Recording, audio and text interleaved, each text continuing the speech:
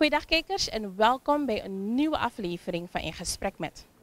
Ik ben op bezoek bij NAX aan de Thompsonstraat, waar de organisatie een unieke poster tentoonstelling samen heeft gesteld in samenwerking met het Rijksmuseum Amsterdam over het slavernijverleden.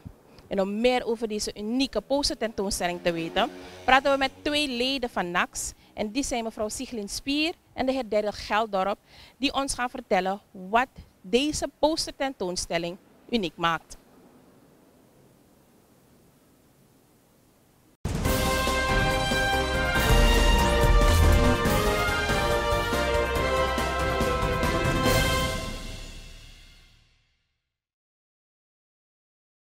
Mevrouw Spier, meneer Geldorp, welkom in ons programma In Gesprek Met. En we danken voor de uitnodiging dat we een kleine tour mochten nemen in deze um, tentoonstelling die is neergezet. En om direct te beginnen met uh, de deur in huis te vallen. De naam zegt het, een unieke tentoonstelling. Maar men zal zich afvragen, wat maakt deze tentoonstelling zo uniek? Wie gaat daarbij beginnen? Oké, okay, prima. Meneer Gelderop, wat maakt de tentoonstelling zo uniek waarvan jullie als leden van NAX aangeven, kom, leer wat, wat je niet weet? Ja, um, we hebben het hier over de geschiedenis en wat zo'n tentoonstelling heel erg uniek maakt, is dat we dan de verhalen um, horen vanuit het uh, point of view van de mensen zelf. Weet meestal als we school zijn leren we geschiedenis maar is geschiedenis geschreven door de witte mensen die dingen hebben meegemaakt, hebben gezien en dat hebben opgeschreven. Hun visie schrijven ze op. Maar terwijl, uh, dit zijn dan posters waarbij je leest de ervaring van de mensen zelf. Het zij de slavenmarkten, het zij de slaven-eigenaren, het zij een Afrikaan die is gehaald uit Afrika, is gebracht naar Nederland. Hun verhalen worden dan beschreven op deze posters. En het zijn dan posters van het Rijksmuseum, posters van uh, Stichting Surinaams Museum, posters van Nationaal Archief en posters van Maron, Samaka Maron Museum. -huh. Als, als, als men ook mag weten, hoe is de samenwerking tot stand gekomen? Dat, um, want is net als wat je zei, er zijn posters gekomen vanuit Nederland, vanuit het Rijksmuseum. Hoe is de samenwerking dan tot stand gekomen? um, dat men dit dan ook kan zien en daaruit kan leren. Wie? In het jaar 2021 gaat het Rijksmuseum al de Slavernij Expo in Nederland. Okay. En het was daar een succes, heb je vernomen, ja. En de, de besluit is gedaan om dan de tentoonstelling ook in Suriname te brengen. Ze hebben contact gemaakt met de Nederlandse ambassade en hun op beurt hebben contact gemaakt met NAX van uh, wie zo'n uh, tentoonstelling hosten. Aha. Natuurlijk hebben wij gezegd van nou zeggen ja, waarom niet?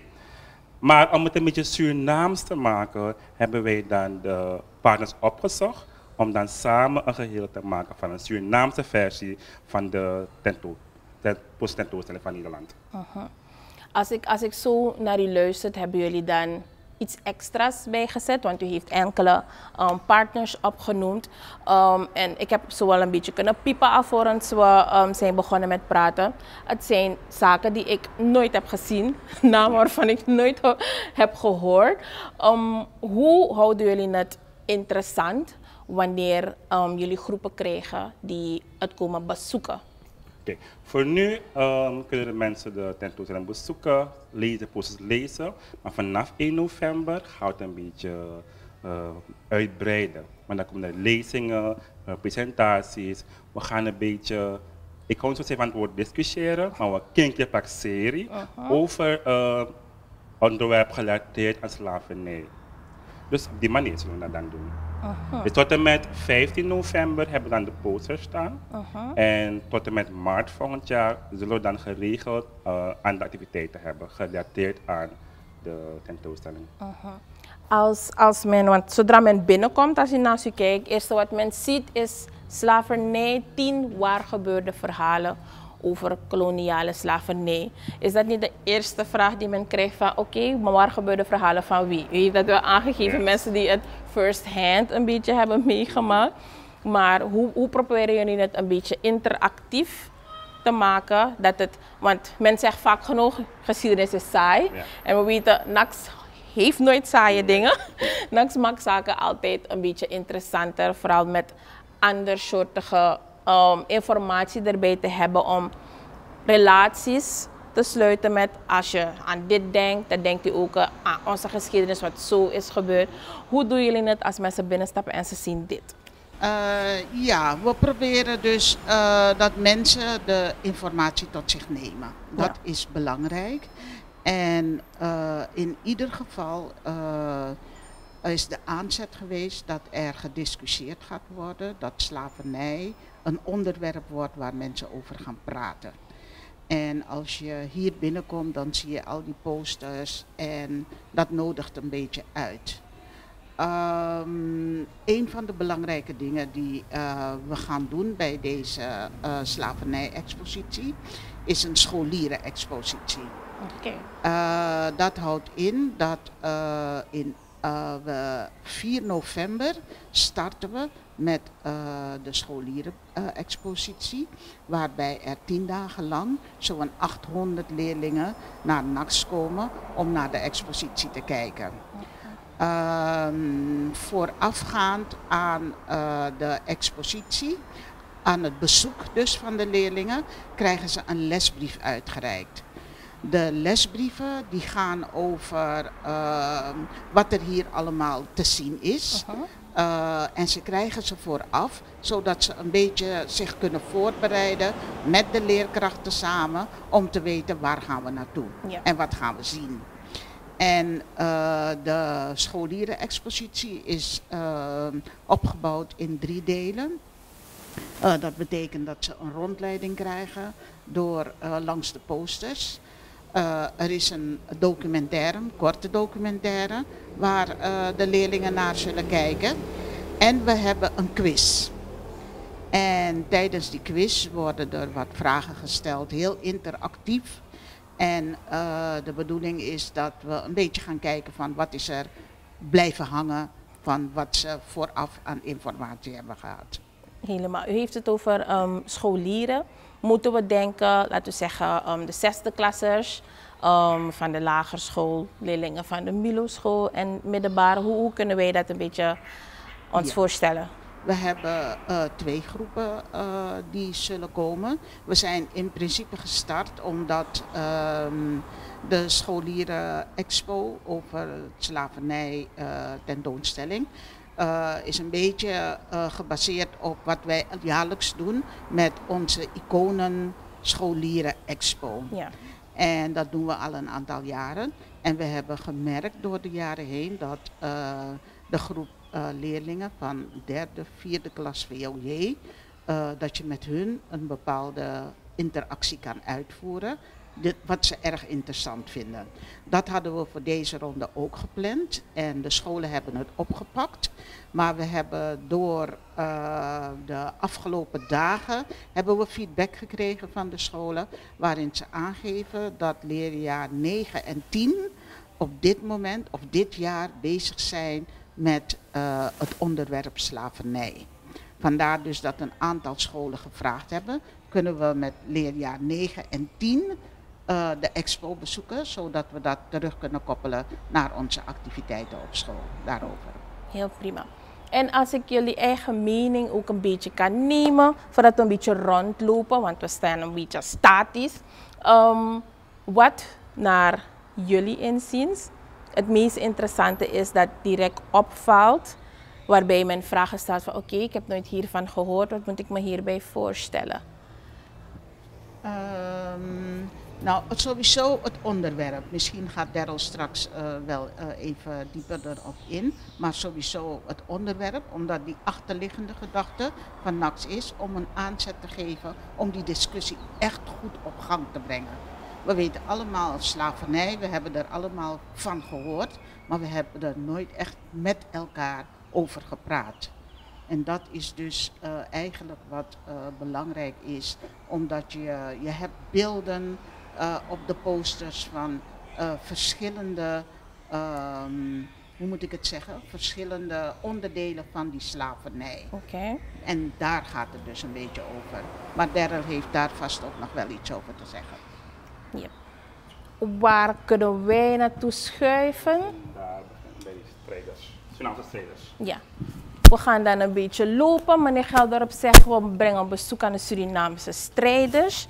En dan kijken we wat we allemaal vinden en zien. Ja.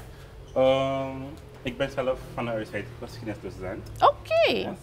En in de geschiedenisboeken is aangegeven dat meestal je leert dat de, omdat de inheemse zwak waren, hebben ze dan op een gegeven moment sterke Afrikanen gehaald uit uh, Afrika. Maar ik leer de kinderen van nee, ze zijn niet zwak. Ze waren gewoon niet gewend om het zware werk te doen. Moet je indenken, je hebt een vrij leven, jij bepaalt wanneer je gaat werken, je bepaalt wanneer je rust, hoe lang je werkt. En gegeven moment komen mensen naar, naar jou lang toe. Zij willen iets bepalen hoe lang je moet werken, hoeveel uur je moet werken en hoe hard je moet werken. Jouw lichaam is daar niet gewend. Dus je, je, je kan je indenken dat je op een gegeven moment uh, je lichaam gaat tegenwerken, waardoor je zwak leek, maar zwak waren ze niet. Ze waren gewoon gewend. Dus we proberen nu in Suriname onze geschiedenis te herschrijven vanuit een Surinaams perspectief. Dus we gaan niet meer praten over dat Bonnie, Bar en Cholikeur uh, brandstichters waren. Nee, we gaan zeggen ze waren helden. We gaan niet meer zeggen dat de inheemse ook uh, zwak waren. Nee, ze, ze, ze waren niet gewend, maar ze hebben dan ook gestreden om datgene wat ze is ontnomen terug te grijpen. En ook kapitein Broos. Ook zij waren helden, worden nu helden genoemd. Dus wij moeten proberen onze geschiedenis te herschrijven om het vanuit een Surinaams perspectief te, te beschrijven. Zodat onze kinderen weten precies wat is gebeurd uh, in de geschiedenis. Maar u geeft aan, Suriname is nu in een bepaalde startblokken om onze eigen geschiedenis te herschrijven. Maar zijn jullie niet bang dat de kinderen in de war gaan raken met wat ze al op school krijgen? Is wat ik aangaf. Men vindt het al saai. Zijn jullie dan niet bang van dat jullie dat aangeven? Want op school leren ze. Ze zijn brandstichters. Ze zijn volgens mij aan de Heilige Weg um, opgehangen, als ik me niet vergis. Want, ja, want het, het verschil is, als ik een beetje in mijn eigen schooltijd mag terugdenken, je leert alleen bij een bepaalde periode lagere school, op de basisschool over een bepaald gedeelte van de geschiedenis. En vanaf Milo en verder leer je niets meer van de Surinaamse geschiedenis. Dus ik weet niet als het aan mij ligt of als ik oud ben geworden.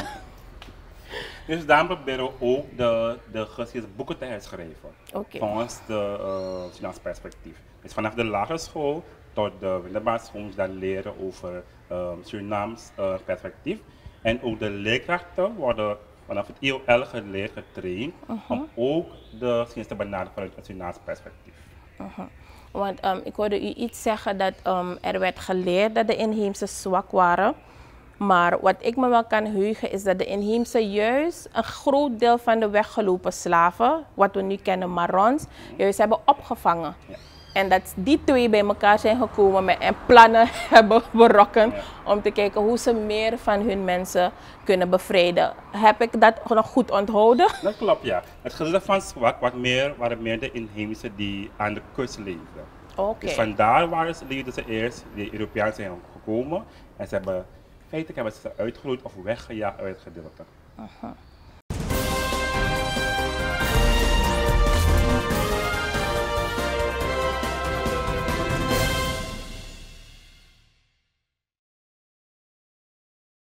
Wij, wij zijn nu een beetje naar een aftrapje gekomen, waar uh, wij van de media ook sowieso wel bekend zijn met de NAX iconenkalender.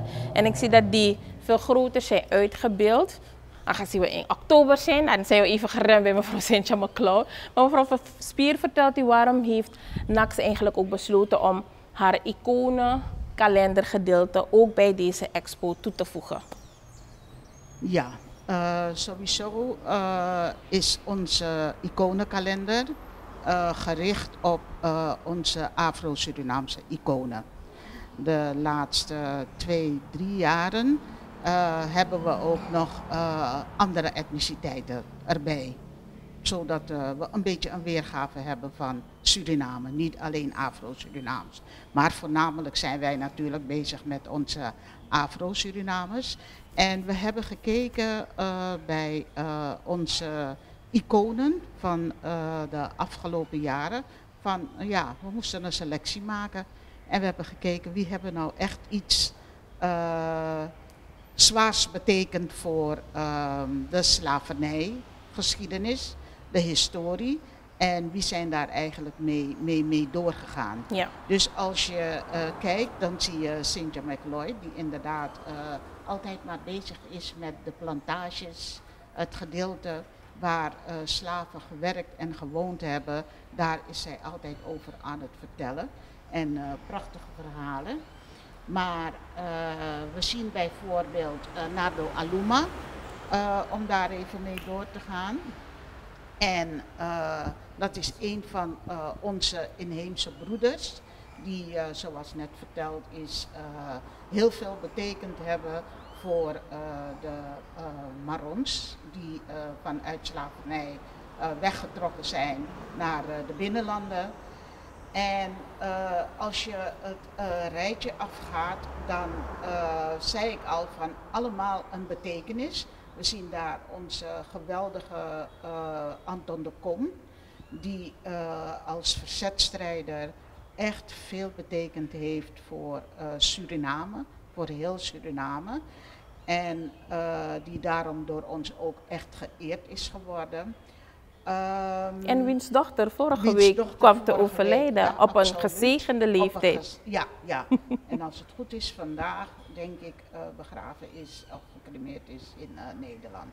Maar um, het zijn dus stuk voor stuk onze helden. Allemaal helden die uh, dat stukje slavernij, geschiedenis helpen uh, ja, verwerken in onze gemeenschap. Want daar gaat het eigenlijk ook uh, best wel om dat we ehm, niet meegemaakt hebben. Wij hebben dat zelf niet meegemaakt. Klopt. Maar er is een doorwerking van die slavernij. En hoe kan je dat op een goede manier kan je dat verwerken? En ik denk dat uh, we absoluut nog niet zijn op het stukje van verwerken, maar dat we wel op weg zijn. En onze iconen die dragen daar allemaal, hebben daar allemaal een steentje aan bijgedragen. Als we uh, die kant op kijken, dan uh, zien we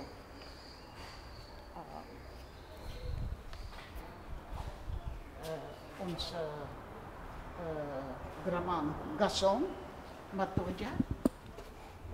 Dat is uh, een van onze grote leiders uh, geweest, een van onze Maron-leiders.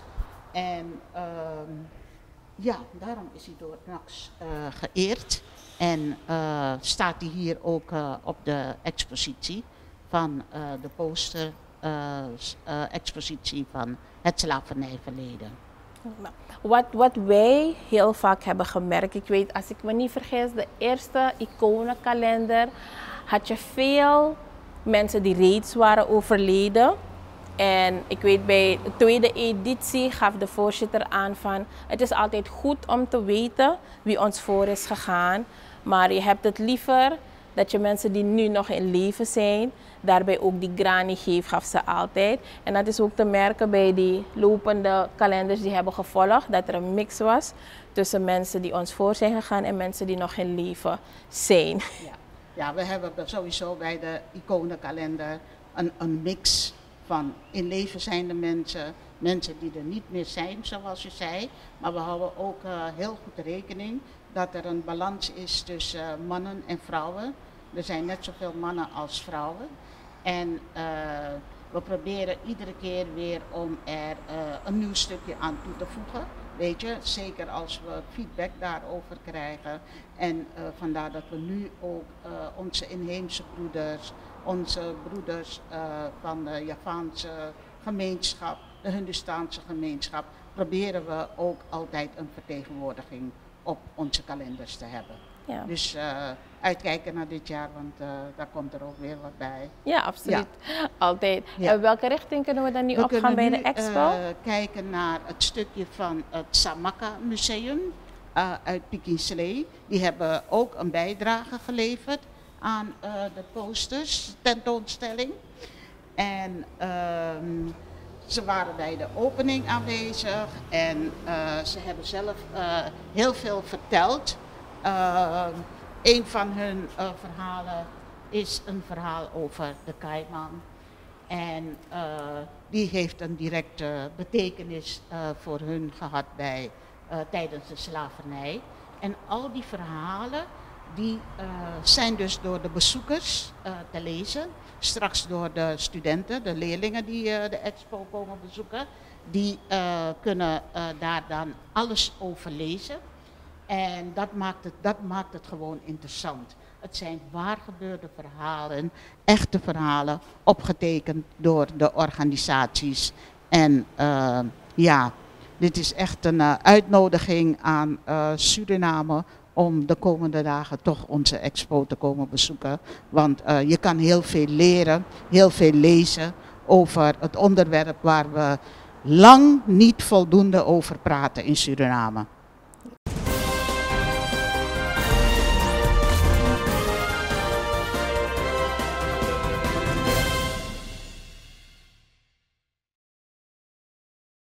Oké, okay, nu zijn we dan weer aan de andere kant van de tentoonstelling waar meneer Geldorp met ons doorgaat.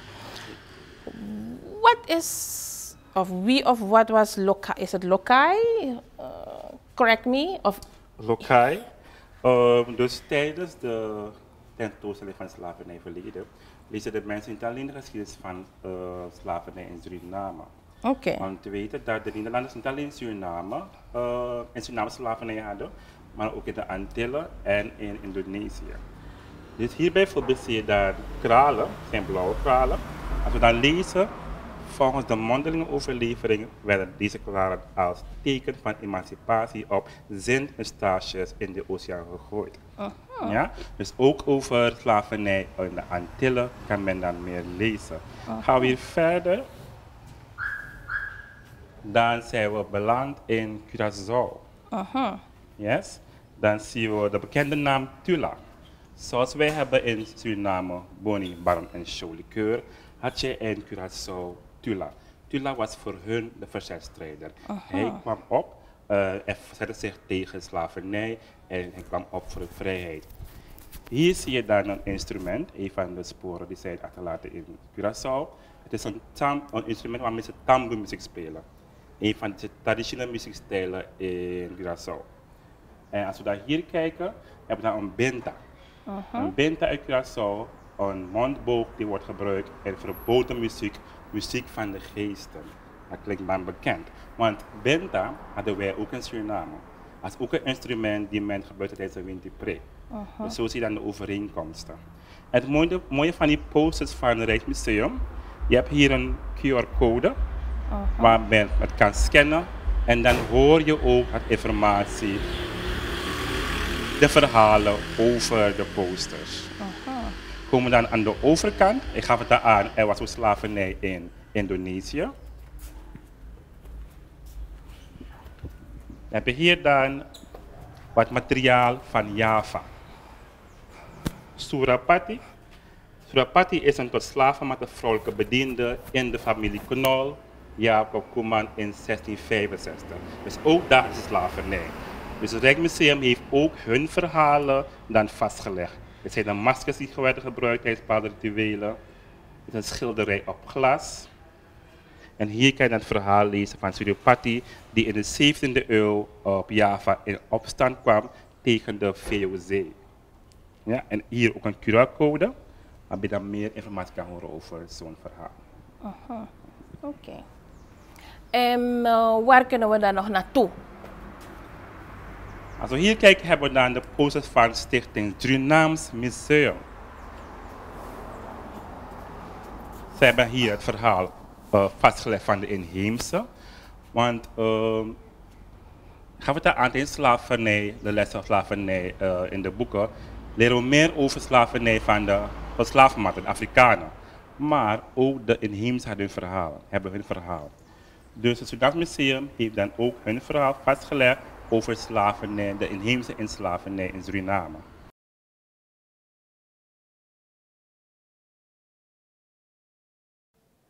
Op de eerste plaats heel hartelijk dank dat uh, we ATV vandaag hier mochten hebben om ons te helpen om de poster uh, tentoonstelling en alle andere activiteiten te promoten.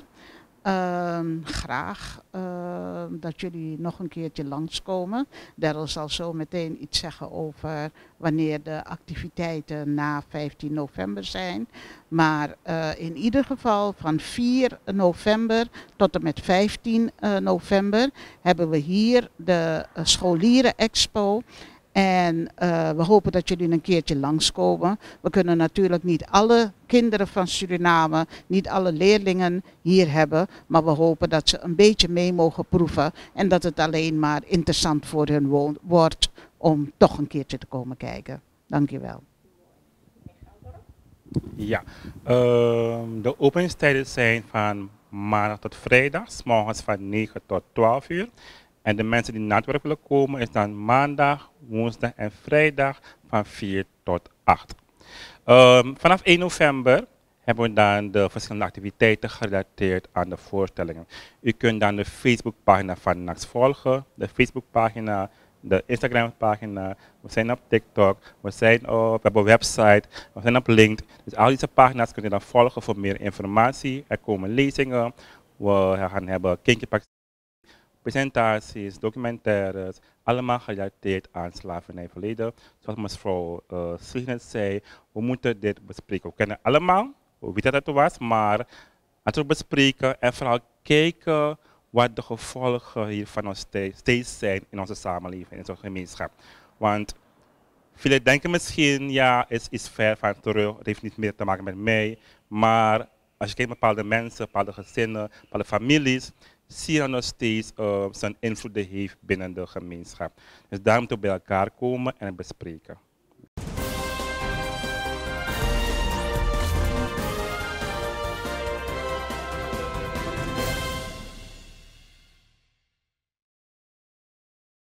Ja, kijkers, heeft mevrouw Spier gehoord en meneer Geldorp.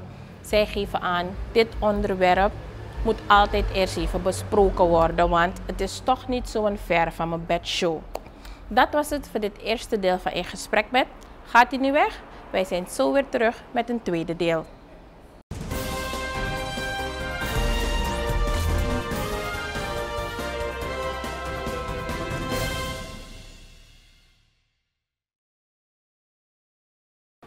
Welkom terug bij het tweede deel van In Gesprek met. In dit tweede deel gaan we wederom op een diplomatieke tour om meer te weten over de verschillende ambassadeurs die we hebben in het land. Wij gaan daarbij wat meer te weten komen over de ambassadeur van de Europese Unie, de heer René van Nes.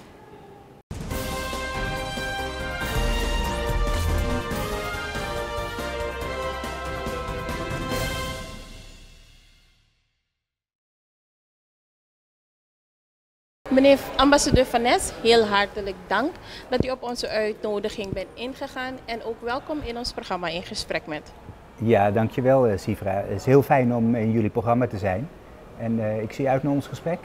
Absoluut. Om, om het ijs alvast te breken, dan uh, wil ik graag voor mezelf nadere kennis met u maken en ook mijn kijkers. Dus de eerste vraag voor u wordt, wie is de heer René Van Nes precies? Ja, nou zoals je al hoort, ik ben een Nederlander. Uh, en dat is niet automatisch, want de Europese Unie heeft 27 lidstaten. Dus een ambassadeur van de Europese Unie die kan komen uit ieder van de 27 lidstaten. Dus mijn voorganger was een Spanjaard en na mij komt waarschijnlijk iemand uit een andere lidstaat. En dat kan dus uit Griekenland, Denemarken, Italië. Dat is allemaal mogelijk. Dus dat ik Nederlander ben, komt heel goed uit met de verantwoordelijkheid ook voor Suriname. Uh, maar het is eigenlijk een toeval. Dat geloof ik best, want uh, ik denk als men hoort Europese Unie, dan denkt men gelijk aan Europa. Dus um, alvorens um, we een beetje dieper inzoomen op het EU-gebeuren, kunt u ons het verschil uitleggen tussen de Europese Unie en Europa in zijn geheel? Ja, dus de Europese Unie zijn niet 27 lidstaten. En die 27 lidstaten die hebben afgesproken met elkaar dat ze heel nauw samenwerken. Dus bijvoorbeeld, alle inwoners van de 27 Europese lidstaten mogen vrij reizen binnen de Europese Unie. Ja. Maar ook vrij werken. Dus als je een Bulgaar bent, of een Griek bent, of iemand bent uit Finland, dan mag je in Nederland werken, in Frankrijk werken, in Portugal werken. Je mag helemaal vrij bewegen binnen de Europese Unie. Je mag ook vrij zaken doen. Je mag je goederen vrij verkopen binnen de Europese Unie. Dus we hebben geen grenzen. Binnen de Europese Unie is er vrij verkeer van personen en vrij verkeer van goederen. En we hebben ook afgesproken dat we proberen om zoveel mogelijk een gezamenlijk buitenlands beleid te voeren.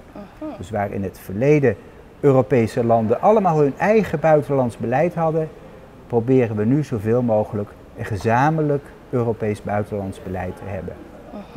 Dus de Europese Unie op zich heeft 27 lidstaten, maar Europa is veel groter. Ja, kijk, je hebt het Europese continent en daar valt natuurlijk nu ook het Verenigd Koninkrijk bij. Zoals je weet, het Verenigd Koninkrijk was ook lid van de Europese Unie, uh-huh. maar heeft een tijdje geleden met Brexit besloten om zich daaruit terug te trekken. Ja, klopt. Maar als je het die situatie nog. over Europa als een continent, dan hoort natuurlijk het Verenigd Koninkrijk daar ook bij. Ja, absoluut. Want uh, is, eh, het is um, heel merkwaardig dat u dat aangaf, dat al hetgeen tussen de Europese Unie, um, vrij reizen, vrij werken, vrij samen doen. En alle landen daarbuiten die bij wijze van spreken ook visumvrij wensen te reizen. Wat zijn allemaal de stappen of wat zijn de voorwaarden waaraan een land dat niet um, onderdeel is van de Europese Unie zich moet houden? Kunt u dat een beetje uitleggen? Om visumvrij te reizen? Ja. Ja, dus dan, dan, hè, dus, dan hebben we het over een Schengen-visa. Ja. Uh, zo wordt dat genoemd, een visum uh, waardoor je, waar je mee kan reizen in alle Schengen-landen. Uh, en om daarvoor in aanmerking te komen, moet een land eerst aan een aantal technische voorwaarden voldoen. Bijvoorbeeld een biometrisch paspoort hebben. Ja. Een paspoort waar je, je vingerafdrukken en zo in zijn vastgelegd. Uh, maar aan het einde is het een beslissing die wordt genomen door de 27 lidstaten. Dus die 27 lidstaten komen dan bij elkaar en die zeggen: zijn we het daarmee eens dat dit land niet meer een visum hoeft te hebben om naar de Europese Unie te mogen reizen. Want ik heb net verteld dat er een vrij verkeer is. Er zijn geen grenzen. Dus heb je een visum voor Frankrijk, dan stopt niemand jou om ook naar België, naar Nederland te reizen of naar Italië, uh, Oostenrijk te reizen. Je bent dan binnen Europa, ben je helemaal vrij. Dus dat betekent dat het niet alleen Nederland is of België is, maar het zijn alle 27 landen die het erover eens moeten zijn. Wij geven in dit geval Suriname het recht om naar Europa te reizen zonder dat ze daarvoor een visum nodig hebben. Dus dat is eigenlijk een hele zware politieke beslissing die door 27 landen moet worden genomen. Mhm.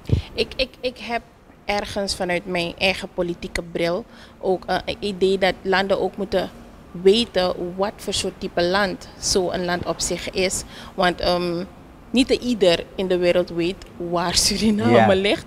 Want vaak genoeg krijgen we of een Latijns-Amerikaanse pet of een Caribische pet. Dus ik denk dat, dat het ook zo'n beetje, ik zal niet zeggen moeilijk, maar dat het de beslissing een beetje laat zweven. Dat men denkt, huh, Suriname, maar als het niet in Latijns-Amerika of is het een Caribbean country? Dus ik denk dat dat ook een beetje ons... Um, een beetje aan het disadvantage zou zetten. Dat idee heb ik. Maar uh, het kan, kan het helemaal verkeerd hebben. Ja, dat, dat weet ik niet precies. Maar het is natuurlijk waar dat, dat hè, als je een Nederlander vraagt, weet je waar Suriname ligt? Ja, natuurlijk weet hij dat. Als je iemand uit uh, Letland vraagt, weet je waar Suriname ligt? Ja, dan heeft hij daar waarschijnlijk veel meer moeite mee. Net als dat een Surinamer misschien niet weet waar Letland ligt. Maar toch is dat een van de 27 landen van de Europese Unie. En ook Letland moet het ermee eens zijn om dan Suriname visumvrij reizen te geven. Dus ik denk dat je wel een beetje gelijk hebt. Een land wat heel erg bekend is en wat iedereen uh, weet te vinden en tot de verbeelding spreekt, heeft het misschien ietsje makkelijker om die, om die case te maken in Brussel. Dus, dus goede diplomatie vanuit de Surinaamse kant helpt dan misschien om, uh, om dat voor elkaar te krijgen. Ja, absoluut. Want um, het enige wat een beetje voordeel voor ons heeft, zeg men, is vanuit de Nederlandse en de Belgische kant is dat we dezelfde voertaal hebben, maar daar stopt het ook bij. Ja. En, en behalve ook de, de, de, het verleden die we samen delen, het, het, het, niet een koloniaal verleden. Ik wil het andere woord niet gebruiken. En dat is ook het enige wat daarbij stopt. En als de rest van die 27 landen. Want ehm, het wordt een beetje gewekt binnen de samenleving hier dat het wordt elke keer aangekaart dat men um, de president vraagt, de verschillende presidenten, laat me dat direct aangeven. Maar vandaar ik altijd hou om zulke gesprekken te voeren, zodat men naderhand precies weet dat het niet alleen ligt aan de verschillende presidenten die zijn gekomen en gegaan, nog dat het alleen ligt aan Nederland en België. Want die zijn maar twee landen in de hele pool van 27. Dat heb je goed gezien. En het is dus inderdaad ook moeilijk. Hè? Dus het is, uh, ik, uh, het is lastig om tegen een president te zeggen: je hebt gefaald om dit te krijgen. Want het is een heel lastig proces. Hè? Dus, dus dat, dat, uh, dat mensen het daar moeilijk mee hebben om dat voor elkaar te krijgen, dat is helemaal niet vreemd. En er zijn heel veel landen in de wereld die dat ook graag willen. Ja. En die met precies diezelfde worsteling zitten. Hoe krijg ik dat nou voor elkaar? Ja, ik, ik hoop in ieder geval dat het nu iets duidelijker is. Want um, ik had deze vraag ook gesteld aan onze ambassadeur die in België resideert. En die had het ook al zo een beetje uitgelegd. Maar terug te komen op wat u allemaal doet.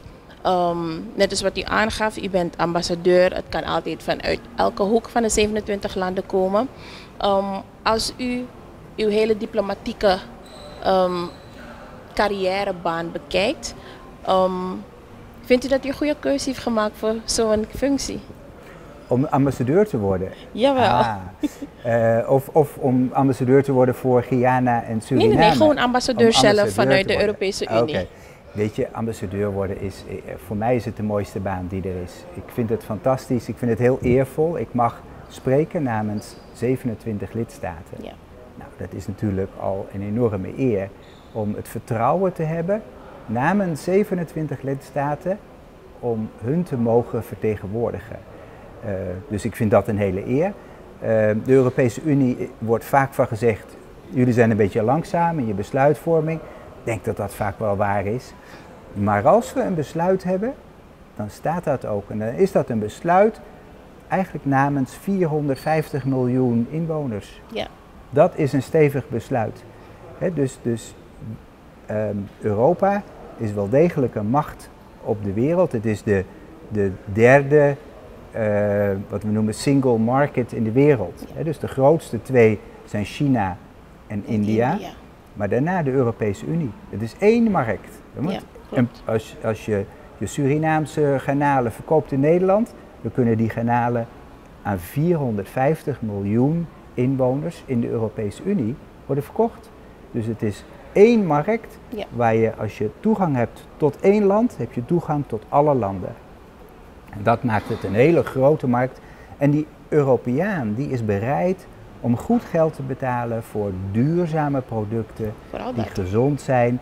En die, is, die wil ook betalen daarvoor. Hè? Dus die is bereid om daar iets extra's voor te geven. Dus ik denk dat Suriname ook echt iets uh, te bieden heeft aan de Europese Unie. En daarom ben ik heel blij dat ik die een rol kan spelen in het bevorderen van die relaties tussen de Europese Unie en Suriname. Ja, en dat zou mijn volgende vraag zijn. Um, toen hij kreeg te horen dat hij ambassadeur werd voor Guyana en Suriname, dacht hij, oh, eindelijk weer ergens waar ik een beetje Nederlands kan praten. Ja. Dat is het eerste wat in me opkwam. Ja, nou weet je wat ik dacht?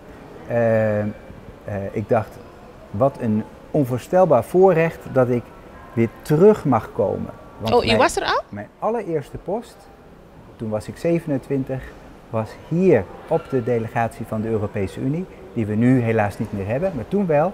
Toen hadden we hier een kantoor van de Europese Unie. Dat was mijn eerste buitenlandse post. Dat is nou bijzonder. In, ja, 1991 tot 1995. Fantastische tijd, echt, echt enorm van genoten. Uh, dus mijn vrouw en ik, uh, wij, wij spreken altijd over BC. en dat betekent voor ons Before Children. Uh, dus wij waren hier BC en wij hebben echt de meest fantastische tijd gehad die je kan voorstellen. Uh, mijn vrouw heeft toen een boek geschreven over Suriname, een reisgids. En dat was een prachtige excuus om naar iedere uithoek te gaan in het land. Dus ik ben overal geweest in Suriname en heb daar enorm van genoten. Dus om zoveel jaar later terug te mogen komen als ambassadeur voor de Europese Unie is een enorm voorrecht en een, een heel groot plezier. En we hebben nog steeds vrienden in Suriname. Dus we zien nog steeds onze vrienden die we meer dan 30 jaar geleden hier hebben ontmoet. Ja, dat is heel bijzonder. En, en ehm, toen u dan terugkwam, of bent u in de tussentijd, voordat ik naar mijn vraag ga, bent u in de tussentijd weer terug geweest nadat u in 1995 bent vertrokken? Ja, we zijn verschillende keren terug geweest. Ja, dat, dat, uh, zo het eerste land waar je wordt geplaatst, dat is een beetje zoals, zoals je eerste liefde. Die, die blijft altijd een speciaal plekje in je hart houden. Dus uh, tussendoor zijn we ook nog wel een paar keer terug geweest naar Suriname. Ja, prima. En um, naar uw bescheiden mening, al de ontwikkelingen die ons, ik zal maar niet zeggen klein land, maar ons geliefd Suriname van mijn kant uit allemaal heeft doorgemaakt. Hoe kijkt u zelfs naar de ontwikkelingen die u heeft mogen volgen door de jaren heen, voor al de keren dat u terug bent geweest? Nou, Suriname heeft natuurlijk een, een, een, een, een woelige tijd gehad. Hè? Politiek woelige tijd, met grote verschillen in, in de regeringen die er zijn geweest. Uh, en die hebben natuurlijk heel wat veranderingen teweeggebracht in, uh, in het land. Ja. Uh, ik weet dat toen wij hier kwamen, eh, in, de, zeg maar in 1992, toen had je hier rijen staan voor de benzinepompen, omdat er schaarste was aan benzine. Ik weet nog dat de prijs van een Fernandes broodje werd vastgelegd. Die mocht niet meer zijn dan, ik weet niet meer wat het was, 50 cent. Ehm, maar Fernandes die werd geconfronteerd natuurlijk met duurdere meel. En die moest dat natuurlijk ook zien te verrekenen. Dus wat deed Fernandes? Die had geen keuze. Die maakte dat broodje steeds kleiner. Dus het broodje was eerst zo groot en op een gegeven moment was het broodje nog maar zo groot. En dus, dus dat soort dingen zien we gelukkig niet meer. En wat ik nu zie is, is, is veel meer zeg maar, macro-economische stabiliteit. Uh, en ik denk dat dat heel goed is. Uh, ik begrijp dat het voor de mensen nog moeilijk is. Het is wel, het is echt sappelen om, om, uh, om rond te komen. En heel veel mensen moeten, moeten echt hosselen om, om iedere maand weer alle eindjes aan elkaar te breien. Klopt. En ik hoop dat dat gaat veranderen. Hè. En als er straks olieinkomsten zijn en als dat goed wordt besteed, dan hoop ik dat ook de gewone Surinamer weer een beetje meer lucht krijgt en, en inderdaad wat makkelijker kan leven. Ja, prima.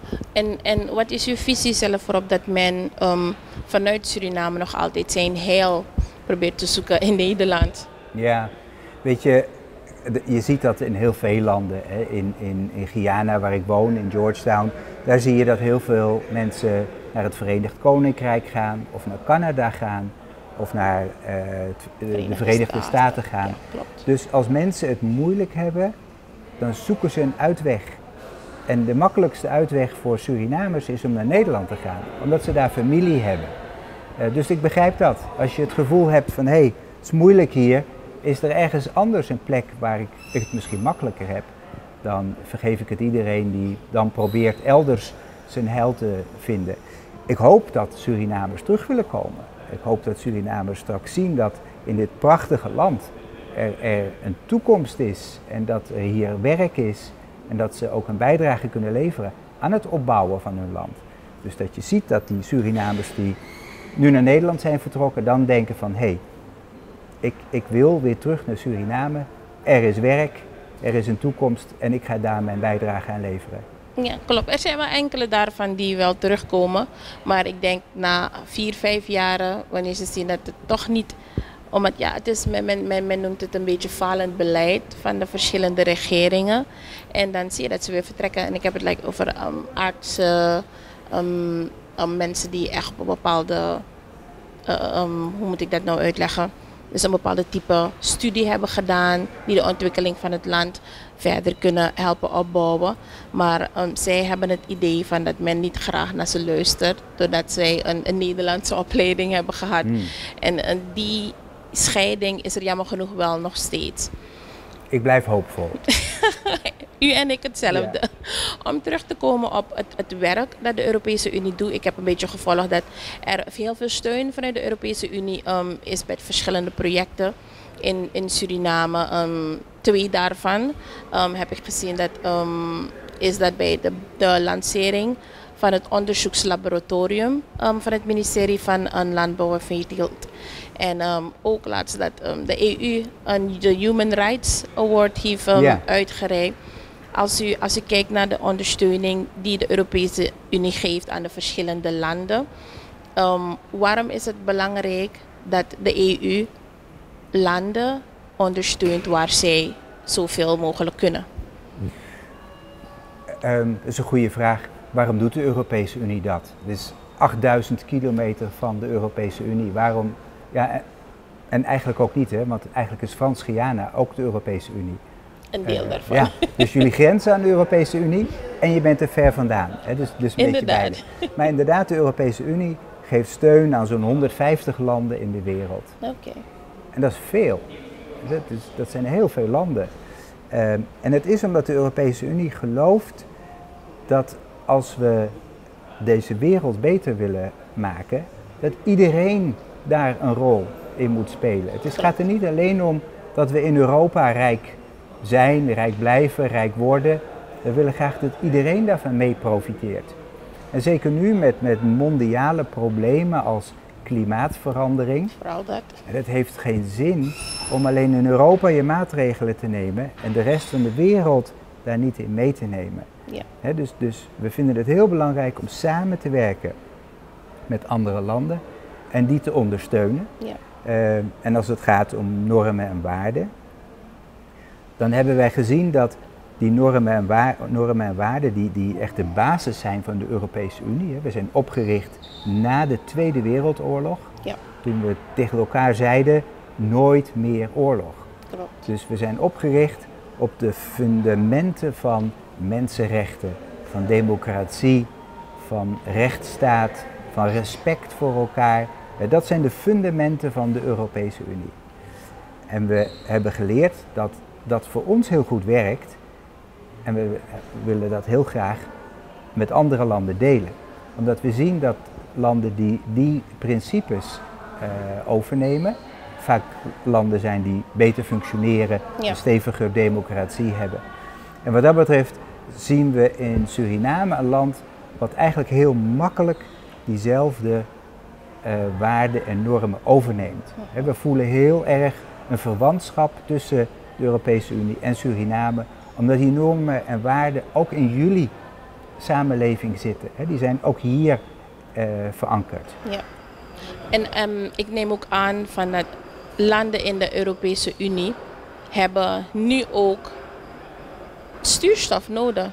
En daar wij zijn in Latijns-Amerika, landen zoals Frans-Guyana, Guyana, Suriname, Brazilië, dat ehm, er ook daarna wordt gekeken. Want nu Suriname met onze 93% um, forest coverage is dat ook een heel goed voorbeeld. Ja. En ik weet van dat, ehm, ik heb heel vaak het buitenlands nieuws moeten maken en vaak genoeg hoor je dat de Europese Unie ook ehm, met Brazilië het vaak aan de kaak kreeg dat zij moesten stoppen met hun boskap. Ehm, is dat ook een van, wat u gaf ook aan klimaatverandering, is dat ook een van de pijlers waarop de Europese Unie probeert de vinger op de pols te houden dat ehm, het zijn weliswaar kleine landen, maar ze hebben heel grote omvang. Ja, nee, absoluut. Dus, dus ehm, als, we, als wij ons geld wat we geven aan landen, eh, zeg maar, programmeren, dan doen we dat eigenlijk rond één sector. Eh, en in de afgelopen jaren hebben we eigenlijk altijd ons geld in Suriname aangewend in de landbouwsector. Ja. Dus je was zelf bij de opening van het laboratorium. Dat is nog vanuit die, wat wij noemen een focal sector, eh, waar we dus de landbouw in Suriname hebben ondersteund. Eh, als ik daar nog iets over mag vertellen, een van de programma's waar ik heel trots op ben, heet SAMAP. Ja, Als je door Suriname rijdt, dan zie je bordjes met SAMAP. Overal. Overal. Nou, dat is een project wat gefinancierd is door de Europese Unie. En dat project dat geeft aan de ene kant geld aan boeren, matching grants noemen we dat. ja klopt. Wij doen de helft, zij doen de helft. En daarmee kunnen ze eh, equipment kopen of zaaigoed kopen of, of eh, eh, machines kopen. Maar we geven ook zeg maar ondersteuning. En die ondersteuning heeft ertoe geleid dat er hele zinvolle relaties zijn gebouwd tussen producenten, boeren, eh, financiële instellingen, Ja. leveranciers van zaad en van tractors. Dus Je maakt eigenlijk een keten. En door die keten te maken, van boer naar uiteindelijk het flesje met sap wat je, wat je in de winkel koopt, eh, van, van eh, de pepers die de boer verbouwt, tot je mooie pepersaus die je hier kan kopen. dus door die keten te versterken, heb je echt een veel sterkere landbouwsector gekregen. Dus SAMAP was, was uh, in mijn ogen heel succesvol daarin en ik ben ook heel blij dat het programma nu wordt voortgezet. Dus de Wereldbank die, die heeft daarnaar gekeken en die zegt van nou, dat vind ik eigenlijk zo, zo'n hoopvol programma. Uh, ik neem dat over, ik ga dat voortzetten. Nou, ze zullen dat vast op hun eigen manier doen. Uh, maar ik ben heel blij dat het een toekomst heeft en dat daar de boeren ook weer ondersteuning uit krijgen. Ik was hier op de landbouwbeurs uh, een half jaar geleden, daar, waar al die door SAMAP ondersteunde boeren waren met hun producten. En ik heb nog nooit zoveel enthousiaste, creatieve, uh, energieke mensen bij elkaar gezien. Dat was echt buitengewoon. En het is dwars door alle lagen, ja, alle klopt. soorten bevolking, van, van Gramman Aboikoni uh, tot de dames uit Lelydorp, tot, tot iedereen was daar, omdat het programma al die verschillende uh, boeren en producenten van landbouwproducten uh, bij elkaar bracht. dus, dus dat is een heel mooi programma. Landbouw was dus eerst ons vocal sector ja. en nu is het bos. Dus voor de jaren 2020, 2027. Ja. Uh, want als we iets doen, dan doen we het goed. Hè. Dan nemen we ook gewoon zeven jaar de tijd ervoor. Hebben we gekozen, samen met de overheid natuurlijk, dat doen we altijd samen. Hebben we gekozen om te zorgen dat ons geld ervoor zorgt dat het bos in Suriname goed wordt beheerd. Dus we werken samen met SBB. Ja. Uh, om te kijken dat die, om te zorgen dat die de beste forest management, uh, hoe noem je dat in het Nederlands? Bosmanagement processen heeft. Op dinsdag ga ik ehm, een training openen die op de Anton de Kom Universiteit wordt gegeven in het gebruik van Copernicus. dat is de Europese satellietsysteem. Oh, en die satellieten die kunnen heel goed bekijken wat de ontbossing is. Die satellieten zijn zo goed tegenwoordig dat ze, er is, hè, je kan je echt niet meer verstoppen. Hè, die, die, Klopt helemaal. Dus een land kan wel zeggen, ja, 93% bos. Nou, dan vragen wij het aan de satelliet en dan krijgen we prachtige kaarten. En dan zie je wat daadwerkelijk uh, de, de omvang. omvang. van dat bos is. Hè, dus wij, uh, de Europese Unie uh, vindt dat die satellietbeelden gratis ter beschikking moeten worden gesteld. Ja. Dus wij geven dat aan Suriname. En we trainen ook uh, mensen in Suriname om daar gebruik van te maken. Jawel. Dus Suriname krijgt die satellietbeelden en weet dus precies wat er aan de hand is. Uh -huh. En kan ook die satellietbeelden gebruiken om bijvoorbeeld te zorgen dat met hele grote regenvallen in het Amazonegebied, dan weet je tijdig, komt dat water naar ons toe of niet. Dus het helpt je met het voorkomen van van overstromingen zoals je een paar jaar geleden hebt gehad. Ja, klopt helemaal. En het helpt je om, om, om je bos beter te managen. Nou, dus bos is onze focal sector en, en uh, daar uh, bieden we heel veel ondersteuning aan. Ook aan de mensen die in het bos wonen, ja. om te zorgen dat die dat op een duurzame manier kunnen blijven doen. -huh. Nou, in datzelfde kopje, zeg maar duurzaamheid, financieren we ook samen met de IDB uh, renovatie van een aantal van die prachtige panden die je hier in de stad hebt staan. En met die panden die wil je eigenlijk klimaatbestendig maken. Vooral dat. Hè? Dus, dus uh, je ziet nu overal dat die panden worden opgeknapt. Dus daar doet de Europese Unie ook aan mee. En we doen dat op zo'n manier dat die panden nu klimaatbestendig worden.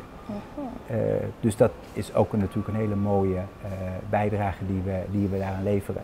Ja, klopt. Want het zou ook zonde zijn als onze historische binnenstad um, na, na 20 of 30 jaar niet meer staat. Alleen maar dat we niet goede materiaal hebben gebruikt Precies. om het um, bestendig te houden en duurzaam. Ja, ja. Als ik nog één ding meer mag zeggen. Dus we hadden het net over normen en waarden. Ja. Uh, dus die normen en waarden proberen we ook om te zetten in daadwerkelijk uh, in programma's. Dus, dus eh, je noemde zelf de EU Human Rights Award. Yes. Eh, dus dat is iets. Dus één keer per jaar geven we een prijs aan mensen die zich inzetten voor mensenrechten. En dat doen we het liefst aan mensen die dat een beetje stil doen, een beetje onder de radar doen.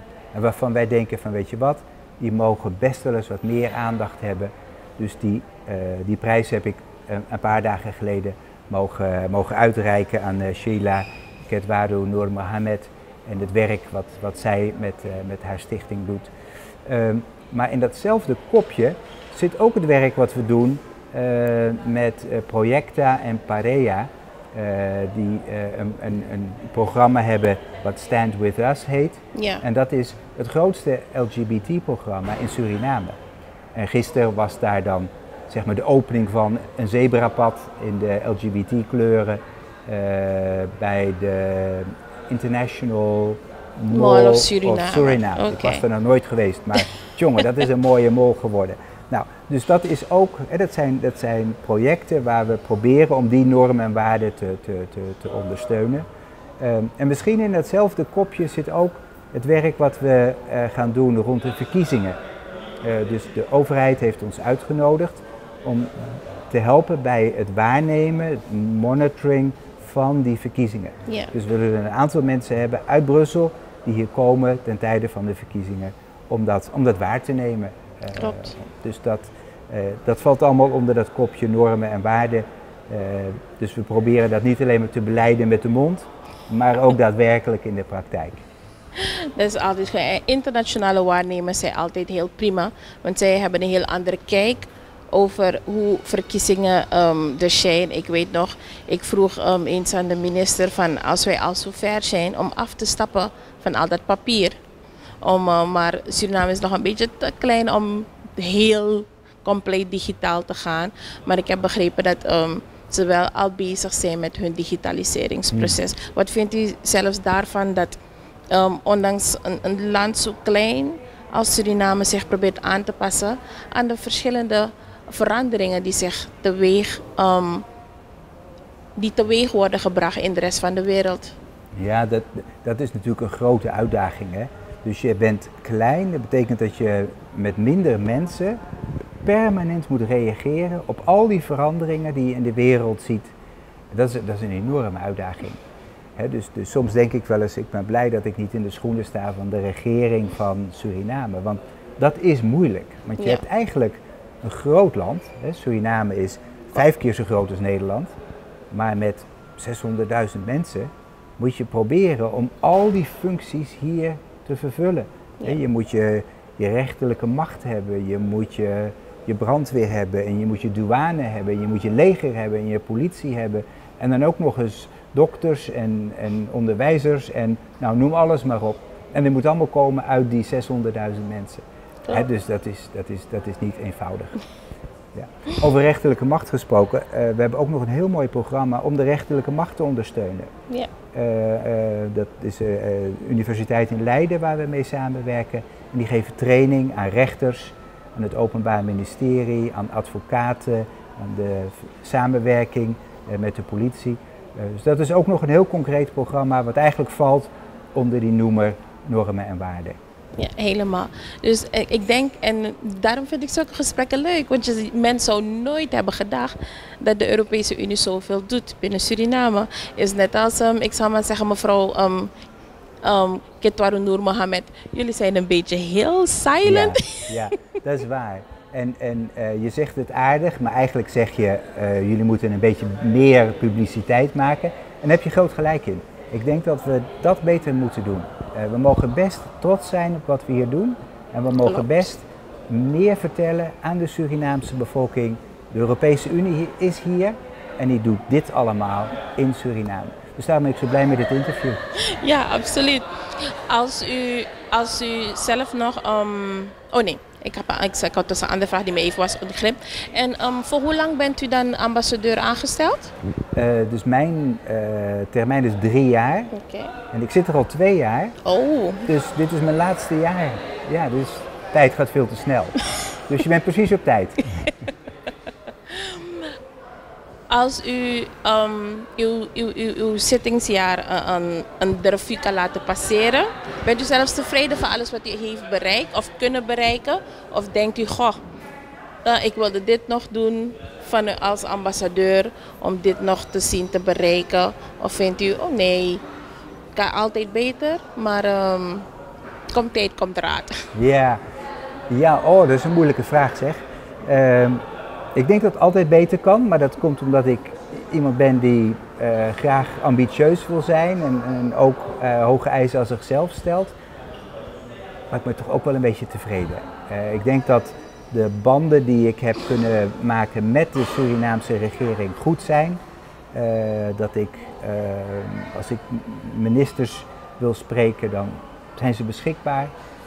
ik denk dat als ik ze spreek, dan heb ik een heel goed overleg met ze. Uh, dus ik heb het gevoel dat dat een band is van wederzijds respect. En waar we uh, elkaar zien als, als partners. Uh, en waar het niet de Europese Unie is die hier komt vertellen hoe het moet.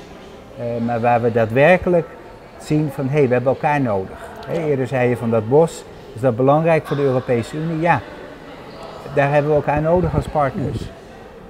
Dus dat, dat, ik denk dat ik daar heel tevreden over mag zijn dat die relatie gewoon echt stevig in zijn schoenen staat en dat we daarop kunnen voort, uh, voortborduren. Ja, helemaal. En tot slot, meneer Van Nes, wat is uw advies en ook uw boodschap naar um, de Surinaamse samenleving in zijn geheel? Oei, het eindigt met alleen maar moeilijke vragen. Het advies aan de Surinaamse samenleving. Uh, uh, misschien, misschien één Misschien één ding wat me opvalt. Uh, ik vind Suriname een absoluut fantastisch land. Ik vind het een ongelooflijk mooi land.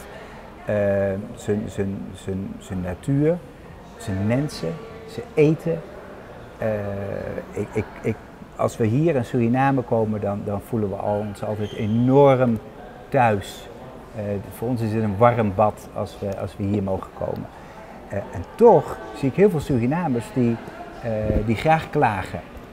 En dat begrijp ik ook wel, want ja, als je moet rondkomen van een heel bescheiden inkomen, is het niet altijd makkelijk. Uh, maar ik zou, ik zou hopen dat, dat uh, ook op de slechte dagen mensen kunnen zien en wat voor een onvoorstelbaar prachtig land ze wonen. en als ze, als ze dat kunnen zien en misschien met een heel klein oogjes willen kijken naar andere landen waar het zoveel slechter gaat, dat dat dan niet alleen een zonnetje op hun bol heeft, maar ook op hun lippen. Heel hartelijk dank meneer Van En ook heel dank voor uw tijd. Dat u een beetje wilde uitleggen van het werk dat u als ambassadeur doet. Maar ook het werk dat de Europese Unie allemaal doet. Niet alleen in Suriname, maar ook in de rest van de wereld. Ik stel het heel zeer op prijs. Heel hartelijk dank. Ja, dankjewel.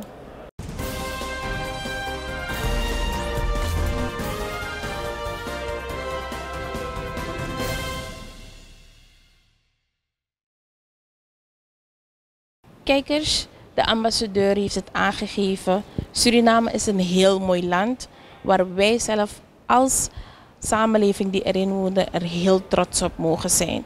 Want vergeleken met de rest, met enkele delen van de wereld, heeft Suriname het toch iets veel beter. Maar men mag de hoop niet opgeven. Dat is ook een van um, de adviezen van de ambassadeur. Maar hiermee zijn we aan het eind gekomen van deze aflevering van In Gesprek met. In het eerste deel zag je mij op bezoek bij NAX. Die had een hele unieke portretten tentoonstelling die te maken hebben met het slavernijverleden. Bedankt voor uw tijd en wij zien u volgende week terug met een nieuwe aflevering van In Gesprek met. Tot dan.